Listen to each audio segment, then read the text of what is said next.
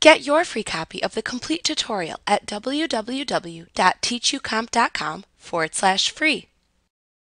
In this chapter, you will learn how to create a table of authorities for your legal documents within Microsoft Word. A table of authorities lists the specific references cited within a legal document along with the accompanying page numbers. It is like a legal bibliography. As when creating a table of contents or a bibliography within Word, you must first mark the citations within your legal document before you compile your table of authorities. When you mark a legal citation, Word will insert a hidden TA or Table of Authorities entry field within your document next to the cited text.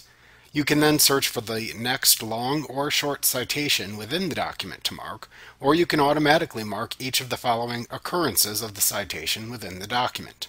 Once you have marked all of your citations within your legal document, you can then compile your table of authorities within Word. When you do this, Word will automatically create a table of authorities that lists all of the citations organized by category, such as cases, and displays their associated page number.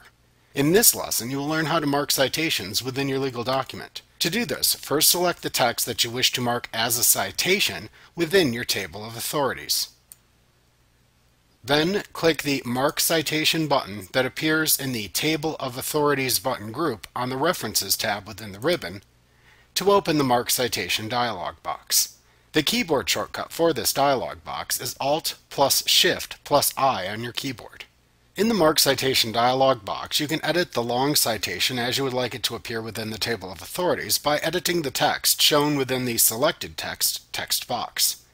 Note that you can format this text if desired by right-clicking the text within the text box and then selecting the font command from the pop-up menu in order to open the font dialog box where you can change the formatting. You can then click the OK button to save your changes and return to the Mark Citation dialog box. Next, select the desired category for the citation from the Category dropdown. Note that if the citation category that you want to use is unavailable, you can click the Category button to open the Edit Category dialog box.